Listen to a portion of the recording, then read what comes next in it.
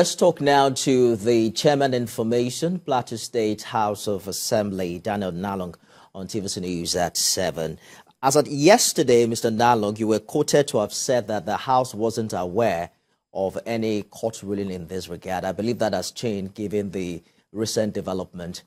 What does an appeal uh, means a stay of execution on this matter?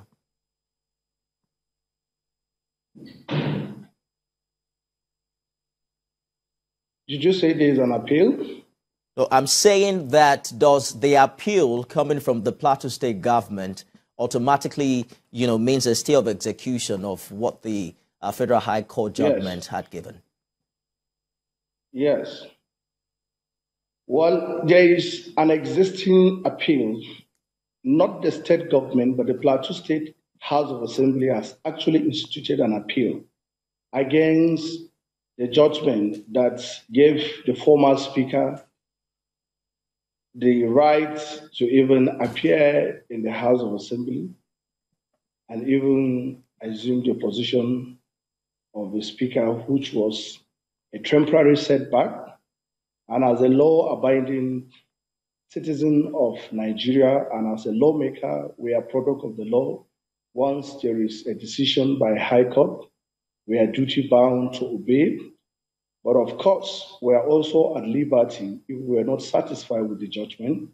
It is our right to, to seek for an order to restrain the other person from enforcing the order of the court and to appeal the matter accordingly, which we have done as a House, and the order have been served to the appropriate authority and even to the former Speaker which by virtue of what has happened, let me say this categorically that with the new development, the House of Assembly is under the leadership of Right Honorable Yakubu Sanda, who is the legitimate Speaker of Just hold on a minute, Mr. Na'anlong. Let's talk about this appeal.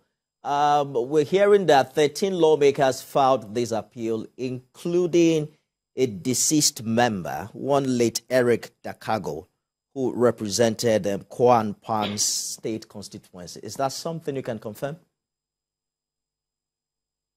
Well, uh, Eric Dakago was uh, our colleague, which by the grace of God, he is late now. He was one among the people who were also being petitioned. And uh, there was according to uh, the lawyer who was presumed to be handling the case, said that there was an application before the court for substituting the name of the late uh, colleague. But that was not done. I think it was at that point that there was no existing communication between the court and him, the lawyer, but I thought, so I thought, I thought that the members of the House, Mr. Na'anlong, were appealing the reinstatement yes. of the former speaker, which only happened recently. So how does a deceased member also join in the application for appeal? I, I, I don't think that is true because there is no way uh, a dead person can appeal for what he is not. Exactly my point. Uh, I mean, that is not true. That is not true. It is the members who are alive who are, who are not satisfied with the judgment of the High Court that has decided to appeal the matter in an appeal court. So that was what happened.